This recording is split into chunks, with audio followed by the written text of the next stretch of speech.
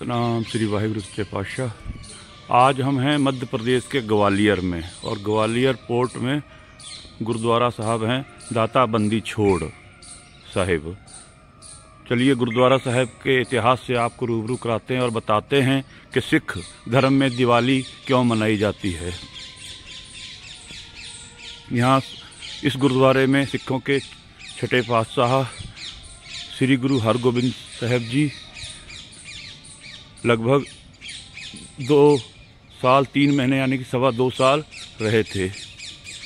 और गुरुद्वारे में नीचे थड़ा साहब भी हैं, जहाँ पे श्री गुरु हरगोबिंद जी साहब ने तपस्या की थी। ये जो किला था अकबर के बेटे जहांगीर के शासन में आता था, और मध्य भारत के अंदर इस किले को एक सुरक्षित सुरक्षित जेल का रूप दे रखा था। श्री गुरु जी हरगोबिंद साहब और सिखों की बढ़ती हुई ताकत को देखते हुए, क्योंकि सिखों को या अन्य किसी हिंदू को पगड़ी पहनने, हथियार रखने और घोड़ा रखने का आदेश नहीं था। और गुरु जी ने ये सब चीज़ों का उल्लंघन किया, घोड़ा भी रखा हथियार रख फौज रखी, सिर पे दस्तार सजाई। तो इसको जहांगीर के कुछ वजीरों ने सत्ता को चुनौती बताते हुए श्री गुरु हरगोबिंद साहब जी को यहाँ बुलाकर नज़रबंद किया। और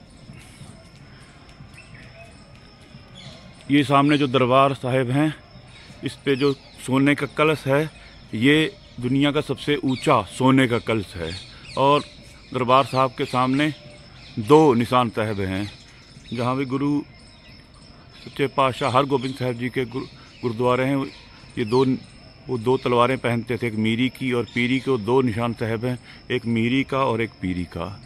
यानी कि एक फ़कीर और एक बादशाही का निशान है। गुरुद्वारे में 24 घंटे लंगर, रात को ठहरने की जगह, सुरक्षित जगह भी है। चलिए आगे इतिहास से में की जानकारी देते हैं आपको और आगे बढ़ते हैं। और मैं बाहर से ही श्री गुरु दाता बंदी छोट साहब जी का दर्शन भी कराऊँगा आपको।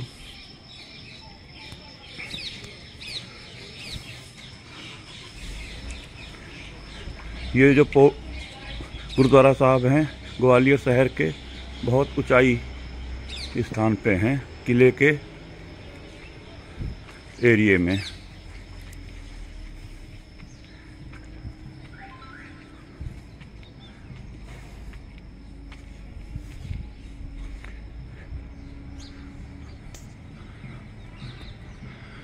सतनाम पातशाह वाहिगुरु वाहिगुरु वाहिगुरु।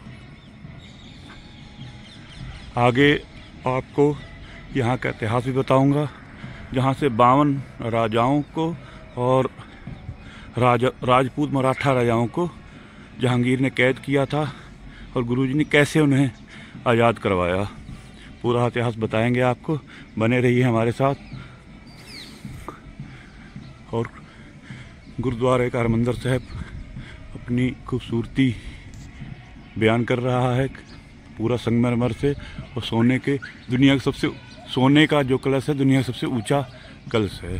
और साथ में चारों दिशाओं में घुमतों पे भी सोने के कलश हैं। गुरुद्वारे के हरमंदर साहब के साइड में सरोवर साहब भी हैं, जिसमें लोग संगत जो है, स्नान करके निहाल हो जाती है और ऊंच नीच का भेदभाव मिटाती है। आइए, चलते हैं।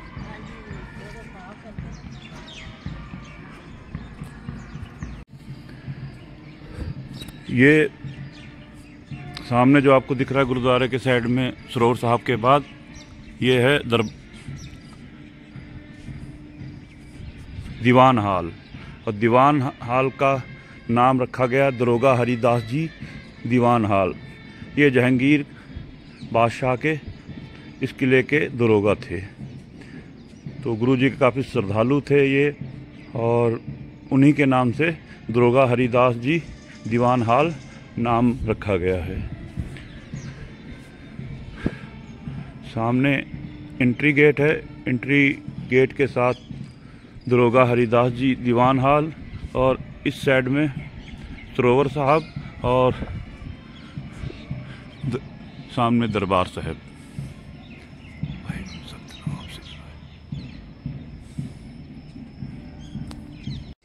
गुरुद्वारे की सराह से जाने से पहले पूछताछ दफ्तर है। इंक्वायरी ऑफ़िस पूछ, पुछगिछ दफ्तर, पंजाबी में लिखा है, पूछताछ दफ्तर। हिंदी में इंक्वायरी ऑफ़िस इंग्लिश में। और ये सामने ऑफ़िस है और आप यहाँ से कोई जानकारी और सामने सराह है। सराह के लिए कमरे यहीं से आप ले सकते हैं।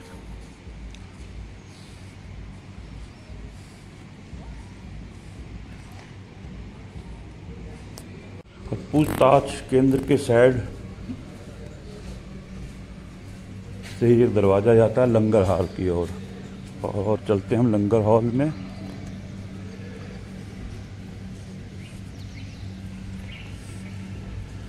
लंगर हॉल जाने से पहले मैं आपको गुरुद्वारे की सराय दिखाऊँगा, जहाँ रहने की व्यवस्था है। अटैच टॉयलेट हैं कूलर लगा हुआ है, और जहाँ भी निशान साहब होते हैं, वहाँ अपने आप को सुरक्षित समझिए। यहाँ की एक और चीज़ मैं आपको बताता हूँ, किला बहुत ऊंचाई में है और किले के ऊपर बना हुआ टीले पे श्री गुरु श्री गुरु द्वारा दाता बंदी छोड़, साहेब। और यहाँ पानी की व्यवस्था नहीं है, रात में देख रहे थे।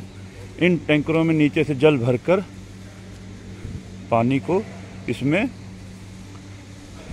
आपकी व्यवस्था के लिए लाया जाता है। इस सामने दो टैंकर हैं और हर अमावस के दिन यहाँ पे बहुत बड़ा मेला लगता है। एंट्री करते हुए श्री दाता बंदी चोट गुरुद्वारे में। हमें रात में क्या परेशानी आई थी, पूरा ब्लॉग देखिएगा। उसमें ज़रूर बताएँगे ये हैं सामने सरा, इसमें कमरे बने हुए हैं सारे।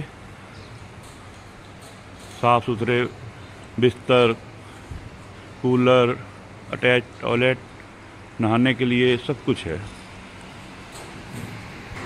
ये सामने लंगर तैयार करने वाला लंगर हाल है और संगत यहाँ पे लंगर बना के तैयार कर रही है।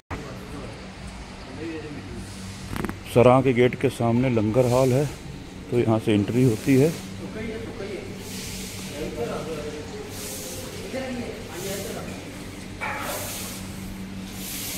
सामने बर्तन धोने के लिए जगह बनी हुई है और यह है लंगर हॉल। गुरुद्वारा साहब में जो बर्तन है ना, यहाँ से लीजिए। और इस गुरुद्वारा के लंगर हॉल जो है, साफ़ सुथरा लंगर हॉल तो सभी गुरुद्वारा का रहता है 24 घंटे लंगर चलता है। रात के 12 बजे, एक बजे भी आ जाएँगे। तो यहाँ से बर्तन लीजिए और पंगत में बैठिए। लंगर उतना ही ले जितना आप ग्रहण कर सकें। और यहाँ से लंगर लेने के, रखने के बाद आप अपने बर्तन लेकर।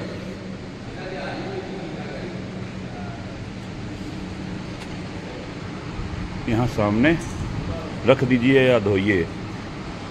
वैसे बड़े बड़े श्रद्धालु हैं जो यहाँ करोड़पति हैं, आके बर्तन धोते हैं, जोड़ों की सेवा भी करते हैं। सिख धर्म के सभी गुरुद्वारों में कभी ये नहीं पूछा जाता कि आप किस धर्म से हैं। आप जब भी आएँ, कुछ रहत मर्यादाएँ हैं, सिर ढकिए, पान, पुड़िया, जेब में और किसी प्रकार का नशा खा, नहीं खा सकते आप। कोई नशा सेवन भी नहीं कर सकते और ना ही साथ में ला सकते हैं। सिर ढकिए, मर्यादा में रहिए और आपसे ये नहीं पूछा जाएगा कि आप किस धर्म से हैं। हाँ गुरुद्वारे में अब समय बदलने के बाद थोड़ी सी सख्तियाँ हो चुकी हैं आईडी ली जाती है। क्योंकि कौन, क्या है, कैसे है, उसके प्रूफ के लिए। यात्रा में कहीं भी जाइए तो आईडी ज़रूर रखिए। जैसा कि आप जानते हैं, मैं लखीमपुर खीरी, नेपाल बॉर्डर से हूँ। मेरा गाँव इंदर नगर और मार्केट तुकुनिया है। हम लोग चले थे दक्षिण भारत, नेपाल बॉर्डर से दक्षिण भारत तक हम लोगों ने यात्रा की और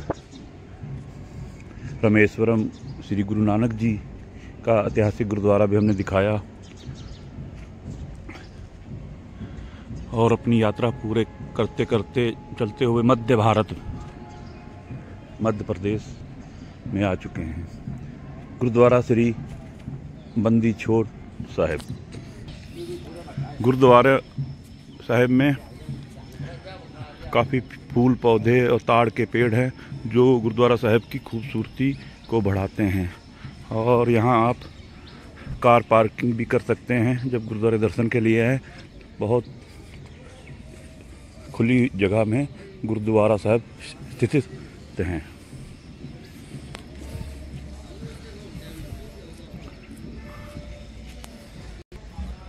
गुरुद्वारा साहब के सामने एक ऊँचा टावर लगा हुआ है, बहुत ऊँचा। आप सोचेंगे ये क्या है तो ये है टीवी टावर, यहाँ दूरदर्शन का टावर।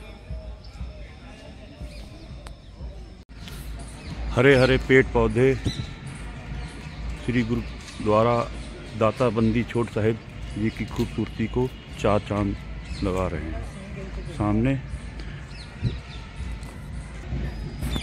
गुरुद्वारा श्री दाता बंदी छोड़ गुरुद्वारा साहब का ये एंट्री गेट है तो सामने है दर्शन ड्योड़ी हाँ जब सगाम, सगा, समागम होता है तो ये दर्शन ड्योड़ी का गेट खोल दिया जाता है, जो बिल्कुल सामने श्री दरबार साहिब के सामने और सीधा बिल्कुल आपको ले जाएगा। श्री हरमंदर साहब, दाता, बंदी छोड़ साहब।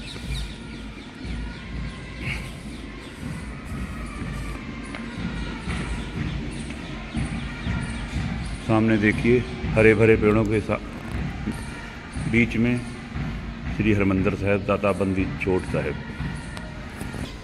और दर्शन जोड़ी के राइट साइड में आपको दुकानें मिलेंगी। जो आप कोई भी निशानी के तौर पे, जैसा कि गुरुद्वारों में, सभी तीर्थ स्थानों में दुकानें होती हैं, आप खरीद सकते हैं। और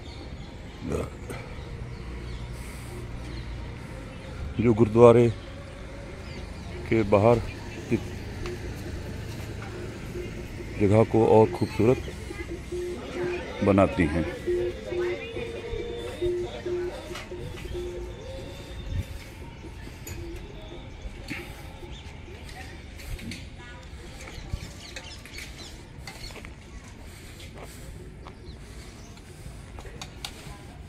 सामने दर्शन ड्योड़ी श्री गुरुद्वारा, दाता बंदी छोड़ साहब। और उसके सामने गुरुद्वारा साहब के आपको टीवी टावर दिखाते हैं।